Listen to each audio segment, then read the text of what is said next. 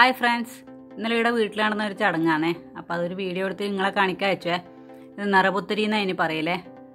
പുതിയ നെല്ല് വീട്ടിലേക്ക് കയറ്റുക എന്നുള്ളൊരു സങ്കല്പമാണ് ജ്യേഷ്ഠ ഭഗവതീനെ അകറ്റിയിട്ട് ലക്ഷ്മി ഭഗവതീനെ അകത്തേക്ക് കയറ്റുന്നു എന്നാണ് അതിന്റെ സങ്കല്പം. ഐശ്വര്യം നമ്മളെ വീട്ടിലേക്ക് വരുന്നു എന്നുള്ളൊരു സങ്കല്പത്തിലാണേ. അപ്പോൾ അതിൽ ഇതൊക്കെ കൂടെ ഉണ്ടാവും. അരയാലിന്റെ ഇല പിന്നെ മാവിന്റെ ഇല പിന്നെ നെല്ല് നെല്ല് പിന്നെ നെല്ലിമരമില്ലേ അതിന്റെ ഇല. ഇവിടുന്ന് അങ്ങോട്ട് ഒരു കൊല്ലത്തേക്ക് ഐശ്വര്യം എന്നുള്ള രീതിയിൽ അതിനെ കണക്കാക്കുന്നത് അപ്പോൾ ഇവിടെ നമ്മൾ കന്നിമൂലക്കാന്ന് ഇത് കെട്ടി വെക്കുന്നുണ്ട് അപ്പോൾ ഈടിയിലെ പഴയതിനെടുത്ത് കളഞ്ഞിട്ട് നമ്മൾ പുതിയ നെല്ല് അവിടെ കെട്ടി വെച്ചു. ഇങ്ങനെയാണ് ഞാൻ ചെയ്യൽ ഇന്നത്തെ ദിവസം തന്നെ ഒരു പ്രസാദം ഉണ്ടാക്കും. അപ്പോൾ ഇതിൽ നെല്ല് നമ്മൾ ഇങ്ങനെ തിരക്കിയെടുക്കണം നെല്ല് തിരക്കിയിട്ട് അതിന്റെ അരി നമ്മൾ എടുക്കണം. അപ്പോൾ അതെങ്ങനെയാണ് തിരക്കുന്നത് ഞാൻ കാണിച്ചു തരാം ഇങ്ങനെ നമ്മൾ പലയമേലിട്ടിട്ടേ ഇരിക്കുന്നതിന്റെ പലക ഇങ്ങനെ പലകമേലിട്ടിട്ടേ. എന്തിനെ കൊണ്ടെങ്കിലും ഇങ്ങനെ തരക്കണം നെല്ലിനെ ഒന്ന്. അപ്പം അതിൽ നിന്ന് ചൂളി വേറെയും അതിന്റെ അരിമണി വേറെ അരിപ്പൊടിയായിട്ട് ഇങ്ങനെ വേറെ തന്നെ കിട്ടും. അതാദ്യം എടുക്കണം.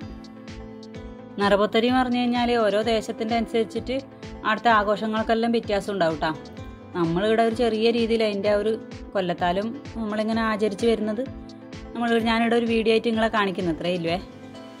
തെറ്റുണ്ടെങ്കിൽ ക്ഷമിക്കുക. നമുക്കറിയുന്ന പോലെ നമ്മൾ ചെയ്യുവേ സാധാരണയായിട്ട് വടക്കേ മലബാറിൽ അങ്ങോട്ട് നമ്മുടെ നാട്ടിലെല്ലാം എന്ന് പറഞ്ഞു കഴിഞ്ഞാൽ കർക്കിടക മാസത്തിൽ കറുത്ത വാവ് കഴിഞ്ഞിട്ട് വരുന്ന നല്ലൊരു ശുഭമുഹൂർത്തത്തിൽ ഈ നെൽക്കരി നെൽക്കതിര് ആദ്യമായിട്ട് വീട്ടിൽ കയറ്റും. അത് അമ്പലത്തിലും അമ്പലത്തിലും അതിനായിട്ട് പൂജയും കാര്യങ്ങളെല്ലാം ഉണ്ടാവും. അങ്ങനെ കയറ്റുന്നതാണേ. അപ്പോൾ അന്ന് ചെയ്യാൻ പറ്റാത്തവർ പിന്നെ ചിങ്ങമാസത്തിൽ അങ്ങനെ ചെയ്യും. നിറയും പുത്തരിയും കൂടെ ഒരുമിച്ച് ചെയ്യും. ഇടിപ്പം ഇങ്ങോട്ട് ഈ തിരുവിതാംകൂർ അതായത് ഈ തെക്ക് ഭാഗത്തേക്ക്. ഞാനിപ്പോൾ ഇവിടെ തിരുവനന്തപുരത്തല്ലേ ഇടയിൽ ഒരുമിച്ച് നടത്തുന്നതാണ് ഇങ്ങനെ കാണുന്നത് അതായത് വടക്കോട്ട് എന്ന് പറഞ്ഞു കഴിഞ്ഞാൽ നിറ കർക്കിടകത്തിലും ചിങ്ങത്തിൽ പുത്തരിയും. അങ്ങനെയാണ് നടത്തൽ വെവ്വേറെ ആയിട്ട് ഉം. ലക്ഷ്മി ഭഗവതീനെ അഥവാ ഐശ്വര്യം അകത്ത് കയറ്റുന്നു എന്നാണല്ലോ നമ്മൾ പറഞ്ഞത്.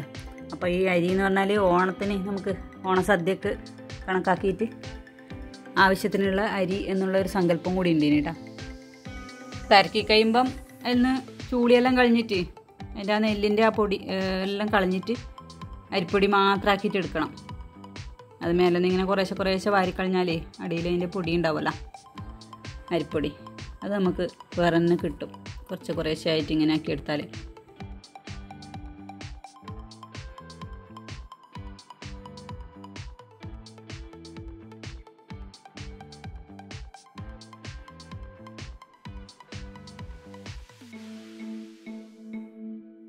മുകളിലത്തെ വലിയ നെല്ലങ്ങ് കളഞ്ഞിട്ടാകുമ്പം നമ്മളിങ്ങനെ കൈമേൽ വെച്ചിട്ട് അങ്ങോട്ടും ഇങ്ങോട്ടും ആക്കുന്നത് ഞാൻ ഊതുന്നും കൂടി ഉണ്ട് കേട്ടോ. അന്നേരം അതിങ്ങനെ പാറിപ്പോയി എന്റെ പൊടിയെല്ലാം. ഊതി ഊതിയിട്ട് ചൂളി അങ്ങ് പറിച്ച് കളയണം. പിന്നെ കുറേശ്ശെ ഇങ്ങനെ പറക്കിട്ടെല്ലാം എടുത്തിട്ട് കളഞ്ഞാൽ അരിപ്പൊടി കിട്ടി.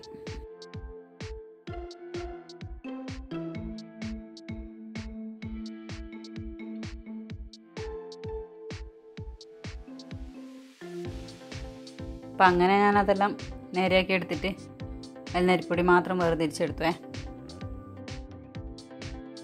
ഇനി ആ പ്രസാദം ഉണ്ടാക്കാൻ വേണ്ടതെന്ന് വെച്ചാൽ തേങ്ങ ചെരുക്കിയത് വേണം. അതുപോലെ രണ്ട് പഴം ഏ.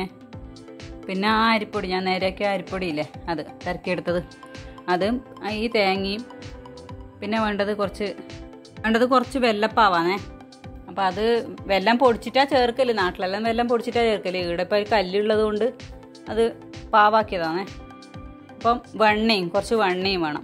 അങ്ങനെ പഴം പിന്നെ പഴം അതിന്റെ കൂടെ മുറിച്ചിട്ട് ഒന്ന് നന്നായിട്ട് ഒന്ന് യോജിപ്പിക്കണം അത്. തേങ്ങയും പഴവും കൂടിയിട്ട്.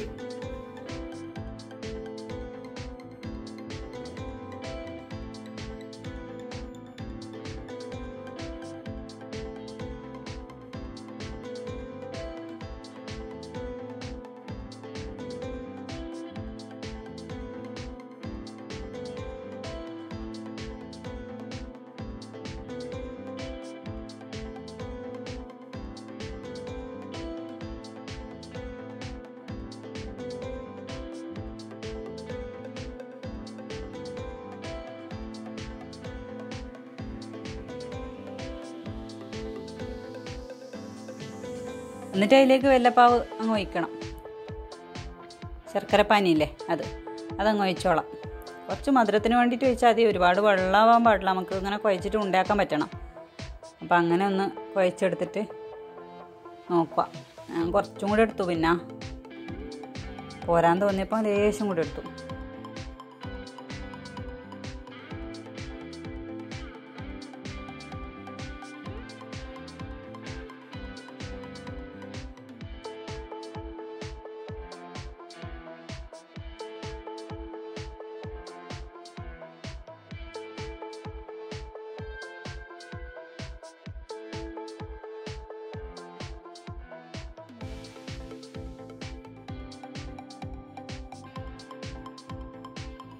ഇനി ആ നെല്ല് തിരക്കിയെടുത്ത അരിപ്പൊടിയില്ലേ? അതാണ് ഇടുന്നതേ.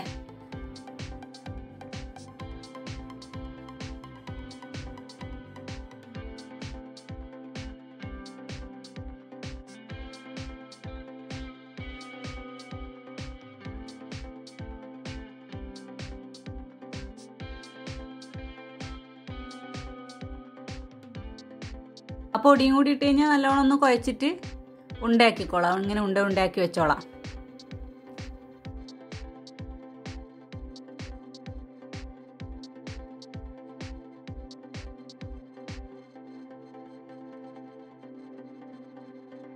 ഇനി ഈ തേങ്ങയും പഴവും കൂടി ഉണ്ടാക്കി വെച്ചിട്ടുണ്ടല്ലോ. അതിന്റെ മുകളിൽ കുറേശ്ശെ വെണ്ണ ഇങ്ങനെ എടുത്തു വെക്കുക. ഇതാണ് രീതി. നമ്മൾ കഴിക്കേണ്ട രീതി ഇങ്ങനെയാണ്. വെണ്ണ എല്ലാത്തിന്റെ മുകളിലും ഇങ്ങനെ എടുത്തു വെക്കുക.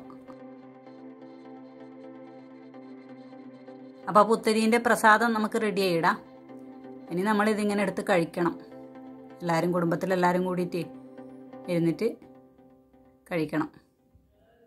എല്ലാവരും കൂടെ ഒരുമിച്ച് ഇരുന്നിട്ട് കിഴക്കോട്ട് തിരിഞ്ഞിരുന്ന് കഴിക്കണം എന്നെല്ലാം പറയും.